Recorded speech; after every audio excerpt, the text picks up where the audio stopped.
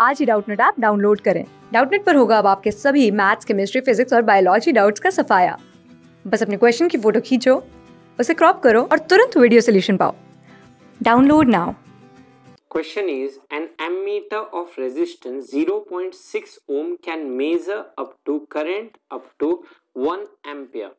Calculate the shunt resistance required to enable the ammeter to measure current up to 5 ampere. The combined resistance of the ammeter and the shunt.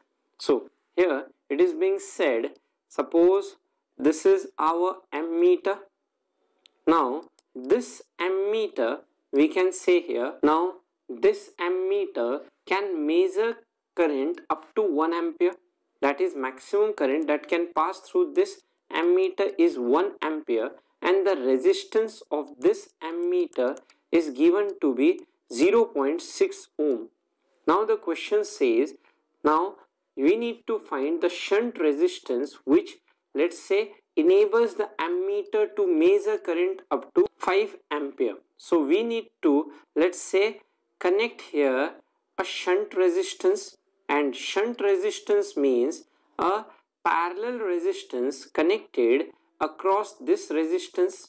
So this is our shunt resistance. Now this says question says that this reads current of 5 ampere.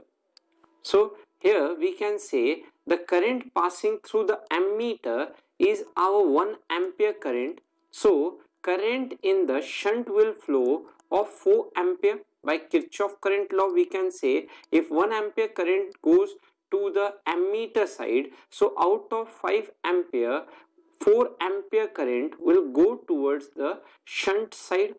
Hence we can say 4 ampere current going to the shunt side. Hence the potential difference across this shunt resistance is equal to potential difference across this ammeter.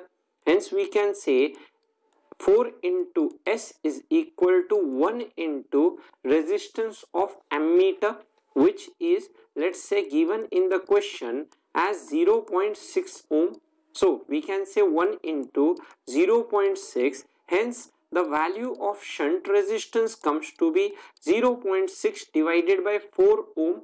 Therefore, we can say the shunt resistance value is our 0.15 ohm.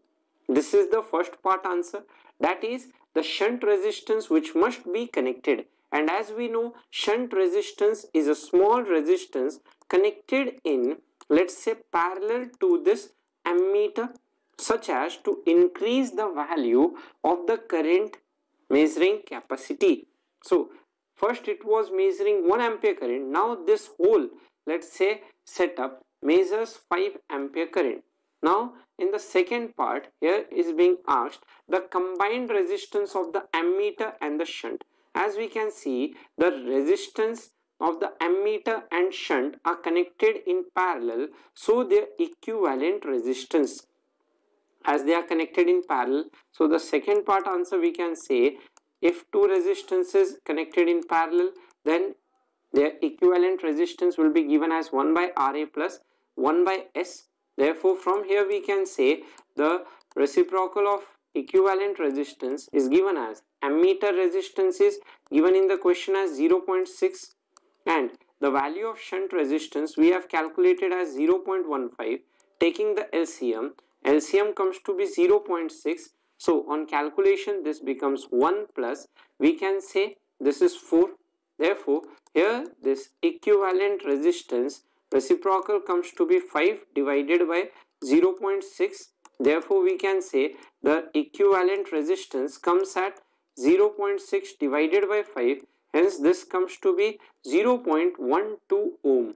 So, the equivalent resistance of the ammeter and the shunt is found to be 0.12 ohm, which is our answer. Class six से से लेके NEET I I T JEE mains और advance के level तक। दस million से ज़्यादा students का भरोसा। आज ही डाउनलोड करें डाउट नेट आप या व्हाट्सअप कीजिए अपने डाउट्स आठ चार सौ चार सौ चार सौ पर।